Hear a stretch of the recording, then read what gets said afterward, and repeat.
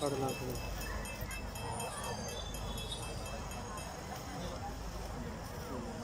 ഒരു ആസ്വാദനത്തിന് വേണ്ടി അവരുടെ സംഗീത പരിപാടി ഈ പരിപാടി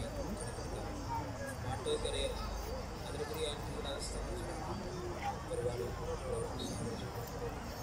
ഇതെവിടെ